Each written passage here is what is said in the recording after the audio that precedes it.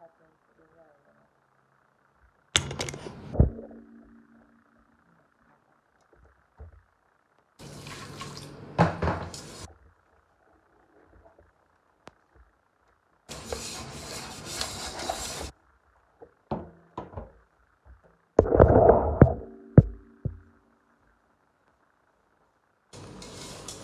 I don't know what else to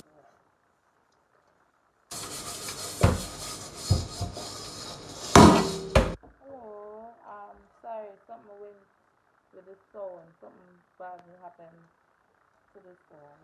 Thank you guys. Hey, welcome back. Um, my I got a call, so the the phone trip out. Yes, I'm sorry about that. So yes, the reason why I was saying that the reason why I stress about encouraging somebody is because during my journey I got a lot of discouragement. Alright, I have a story for you guys. Let me tell you, and this story will never leave me. You guys are hearing me now? Hello? Oh.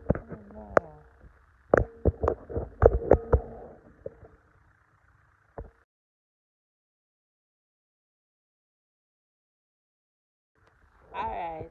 So you guys hear me? Alright, so I have a story, right? Um okay, great. So I have a story. I remember in primary school I had this teacher.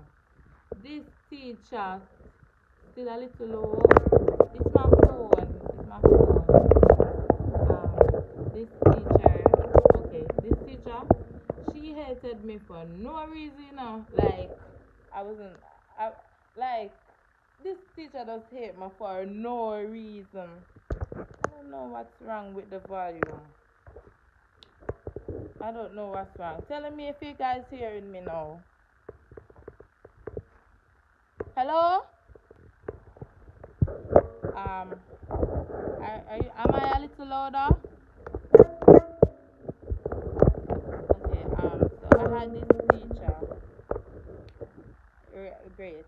So I have this teacher um in grade five. This teacher hated me for no reason. Every day she would beat me. Every day she would beat me and make me cry and and and thing. She beat me every day, you know. And then one day she tell me say, you know gonna do good. You go pass the one of them local slow school there. You know the slow schools that children that don't pass GSAT go to. The, those in my days it was GSAT, not PEP. So she said you're going to pass for one of the worst schools. And I said this woman, she really don't like me. She really hate me. And I did my best. When I went out of her class, because we do GSAT in grade six. When I went out of her class, I was I was so brilliant. Like I was on the top of the class. I was getting good grades. You know, I'm I've been a brilliant student. But you see, in grade five, be bad grades because this teacher beat me so much. So I didn't want to go to school. And if you know me, I love school. I love school because school is where I get to learn and I love learning.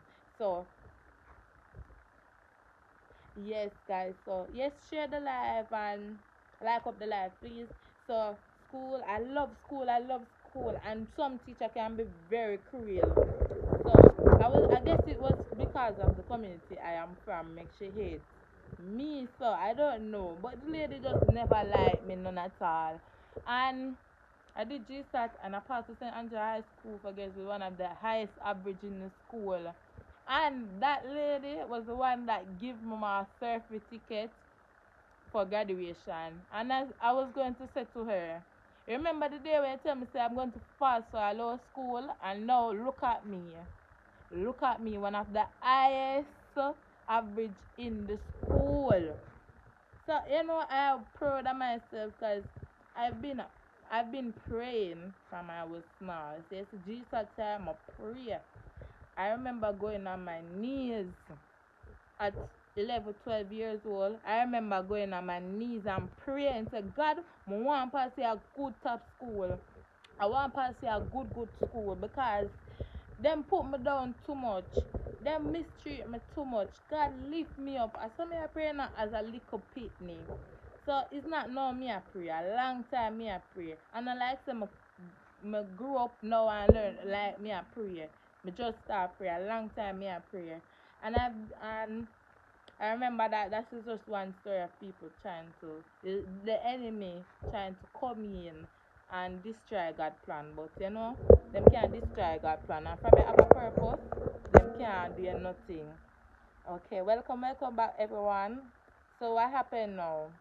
In high school, I remember a teacher. Um, she said to me, um, you know, everybody everybody in the school know say I want to do law. Everybody know say law me want to do. Every God Almighty know that I want to do law.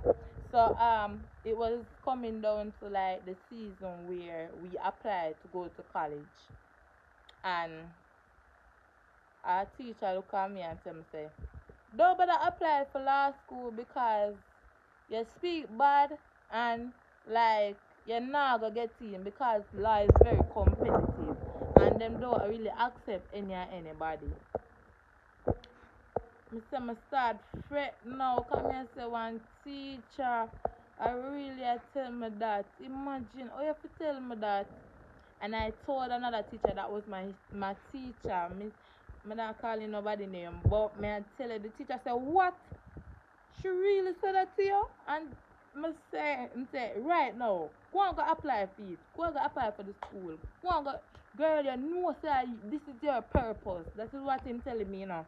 This is your purpose, girl. Oh, you have to make she tell you after you work so hard. Imagine from how much years of work and dedication to become a lawyer.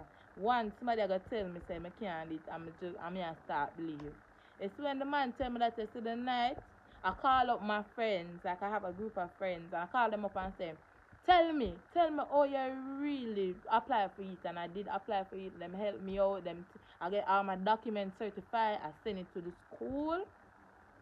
I sit down and fret for the acceptance letter, me fret, me fret, me fret, because I apply for three courses um, international relationship, uh, relations, sorry, international relations, um, marketing and law. I got into international relations and marketing.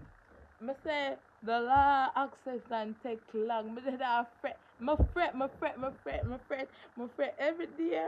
My friends just I come at school and say, Girl, you get the letter yet? Cause somebody get it. Why you don't get your letter? And I start fret, I say, oh God, them don't give it to me. And I start fret, and you see that moment I become dismayed. At them time the God show me say, him a God. Them time him show me say, him a big man. I got my letter and my happy. The way I'm happy, God is good. Yes, God is great. The way I'm happy, everybody know me start show, me not show up, you know, but I was proud of myself because I really worked hard and I never expect it. So I started tell my friends, yes, I did got through. I tell my, tell my friends, my teacher asked, my teachers asked, and I tell them, yes, yes, I got through. And I was so elated, elated. I called my mother and said, Mommy, I got through. And she's like, that's good, girl, that's good. I'm proud of you. You know, I feel so good. Yeah, so that's like couple stories that people have tell me say you can't make it and this and that so that's why you know i try to encourage people as much as i can because you see one word of encouragement can change your life and one word of discouragement can also change your mind and and i remember my mind was going to change and i said that i could get into our school so sometimes you just just even sometimes those people you just want to smile with somebody. Smile with somebody, you know, just smile. just smile with somebody and you see what a smile could can do for somebody.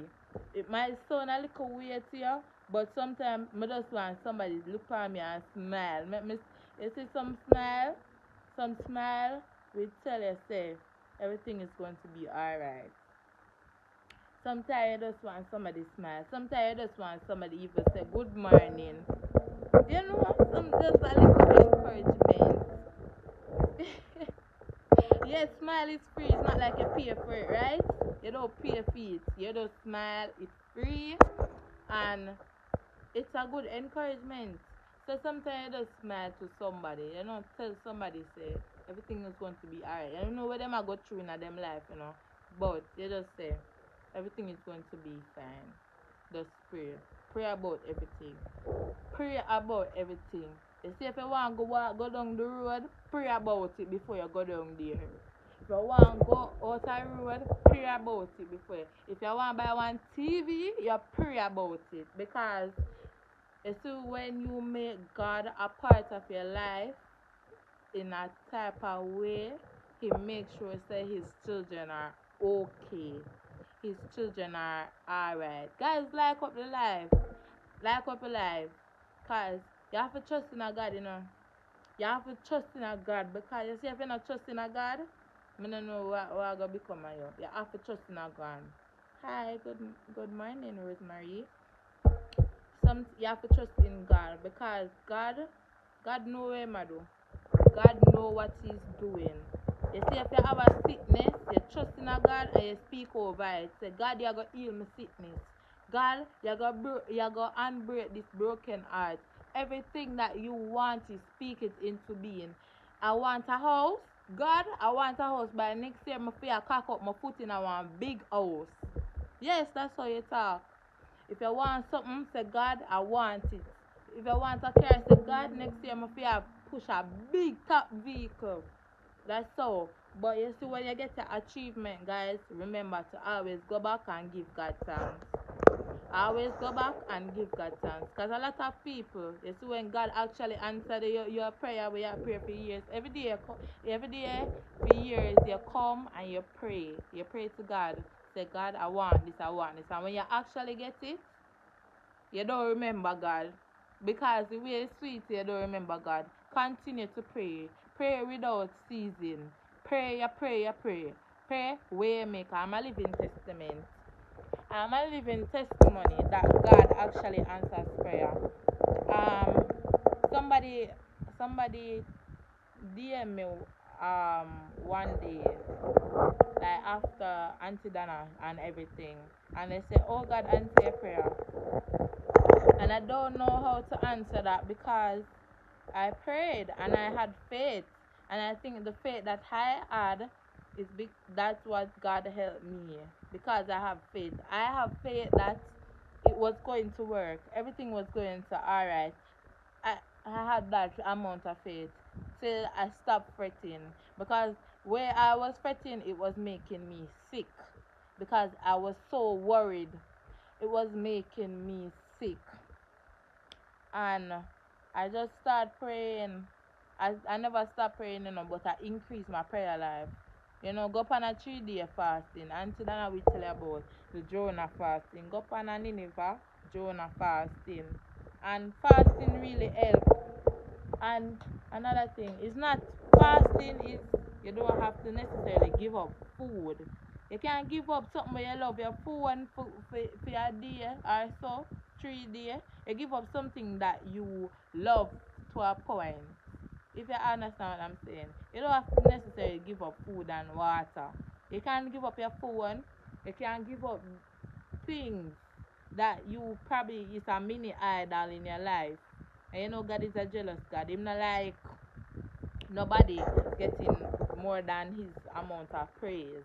So um you know give up some little things. Probably you love watch a show you love watch TV, you give up the TV for couple days, you know, and say, God, this is your time now. You go on your knees, city. I have a Bible, let me show you. I have a Bible, right? Right by my bedside. You see this Bible?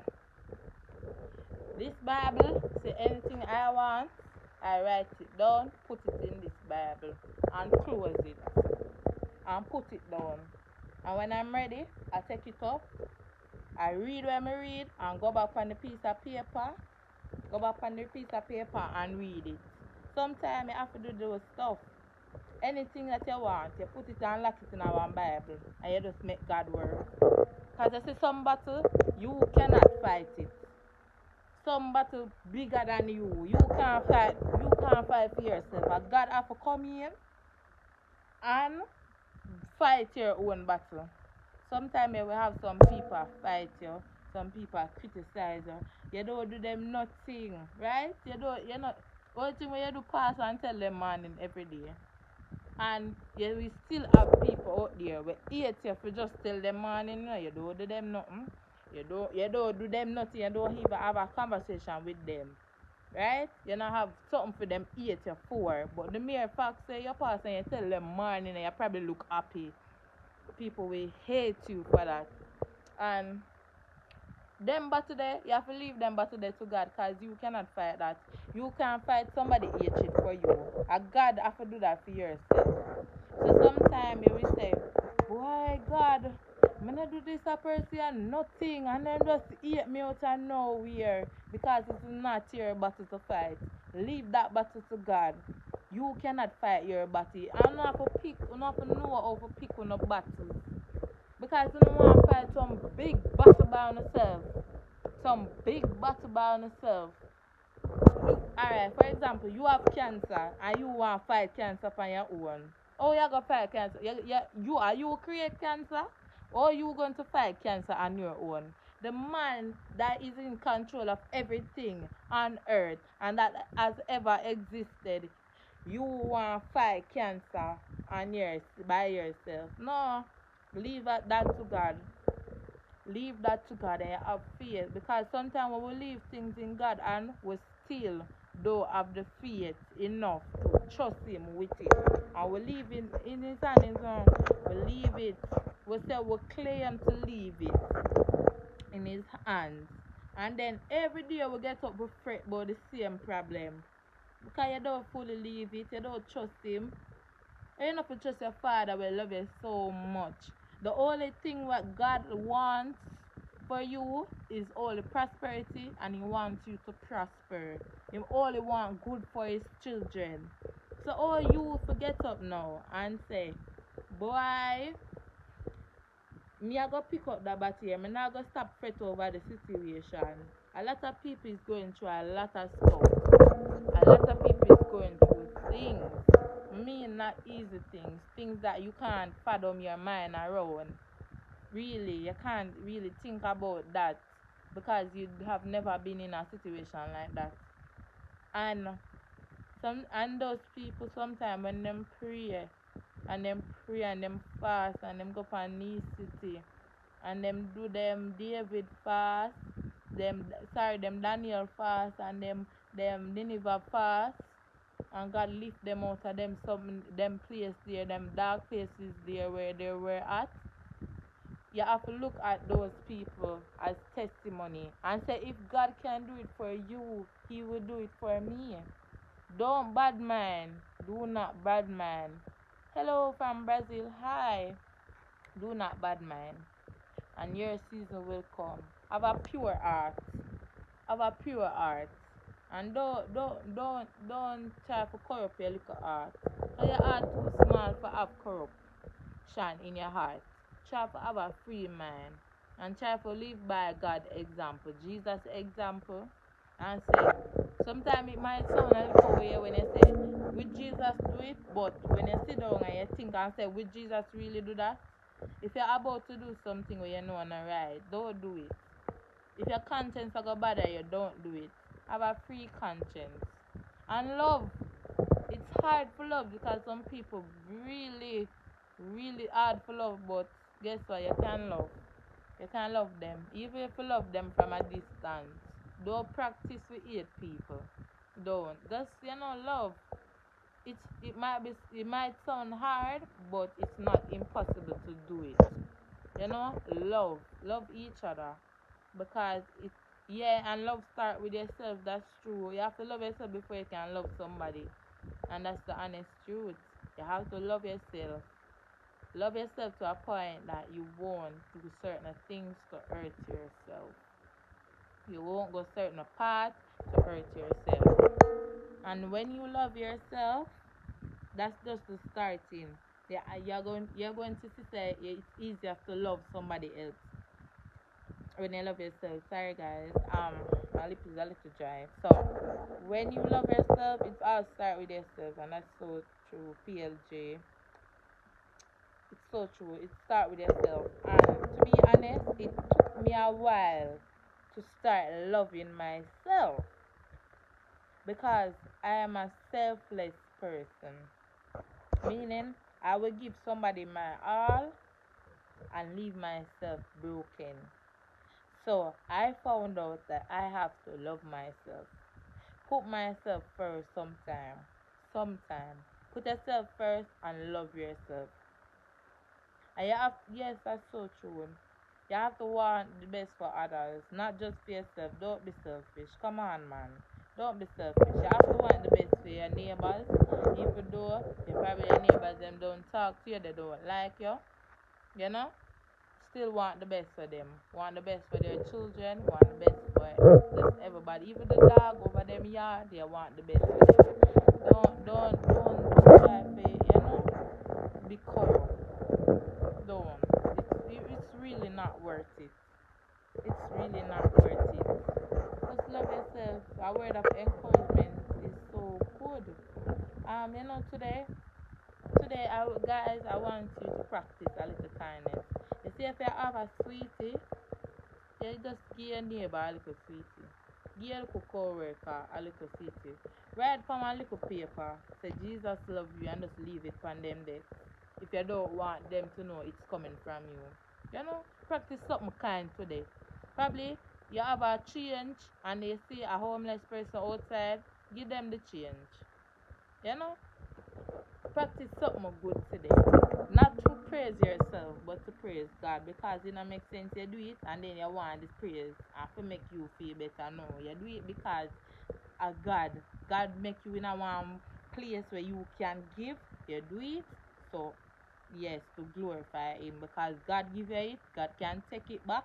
So you give outside. Nothing is wrong with giving. Okay? So and, and I know a lot of givers is on my life today. I don't have a problem with giving. So, you know, sometimes give a little word, even if a word of encouragement. Even if it's a smile, as somebody said earlier, if it's a smile, you know, be nice.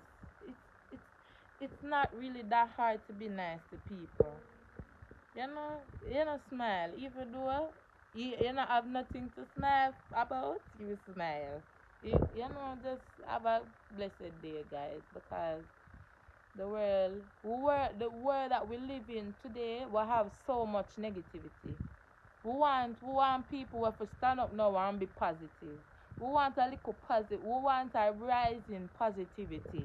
Because a whole heap of negative. Alright, for example, go underneath a post right now and you see much bad comments and a few good ones.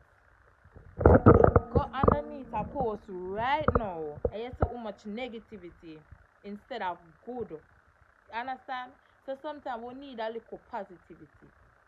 We need a little positivity in our life. Okay, guys? You know, not all the time you get up and you post and you carry on the most weird, you those negative so sometimes you force yourself. If you do, it don't come naturally from you, force yourself to be positive because boy, it will make a, a whole lot of difference, you know. You're going to you start smile more you're to see you start your hand free with giving because you just start have be a positive vibes. So, oh, I'm sorry. Probably it's the fan. So I'm going to turn off the fan. So sometimes you just need a little positivity in your in your life. You know, and even if you can't smile or whatever the case might be, pray for somebody. Pray in your heart for them. Because sometimes some people go through some rough path and them can't smile. Them can't smile no matter how them to smile because the problem they always depend on them brain. I have to understand that everybody deal with things different. Probably you can deal with stress, but probably the next person cannot deal with stress. You understand? So sometimes it's hard for them manage their own stress. So sometimes you have to understand and see with certain people. But you can still write a word of encouragement, say something nice to them. Because you have some people, you know, yeah, you say, Good morning, how are you doing today?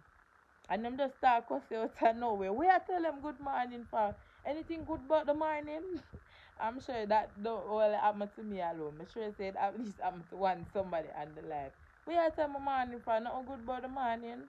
I see everybody have a conscience, you know.